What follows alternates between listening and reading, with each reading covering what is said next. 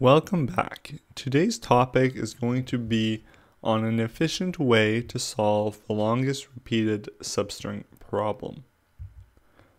The longest repeated substring problem is another one of these fairly common problems in computer science. Lots of problems can actually be reduced to this problem, so it's important that we have an efficient way of solving it. The naive approach requires n squared time and lots of space. What we want to do instead is use the information stored inside the longest common prefix array to yield a faster and also space efficient solution. Let's do an example. What is the longest repeated substring of the string abracadabra? Feel free to pause the video and figure it out yourself. The answer is the substring abra, which is the longest substring that appears at least twice in the string, so we call it the longest repeated substring. Here you can see the first instance of abra on the left. And now you can see the second repeated instance of abra on the right. Although these substrings are disjoint and do not overlap, in general, this is permitted for the longest repeated substring. Now let's solve the problem using a suffix array and an LCP array, which I have generated on the right hand side. I'll give you a moment to pause the video and inspect the LCP array in case you notice anything special in relation to the longest repeated substring now that you already know what the answer is.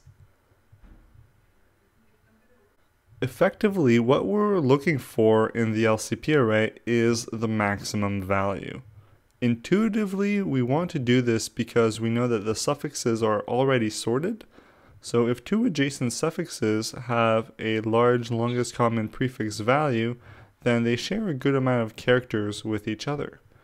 We also know that if the LCP value at a certain index is greater than 0, then the string shared between the two adjacent suffixes is guaranteed to be repeated because it is common between two suffixes, each of which start at different locations in the string. So here again is abracadabra. Since our LCP value was 4, we know that the first four characters from the suffix abracadabra forms one part of the repeated substring. Next, we know that the suffix above it, which shares the LCP value of 4, also shares 4 characters present in that longest repeated substring. Now, I want to look at another interesting case. Can you find the longest repeated substring of the string A, B, A, B, B, A, A, B, A, A? Well, if you did, you would find out that you not only got one longest repeated substring, but two longest repeated substrings, since there can be ties.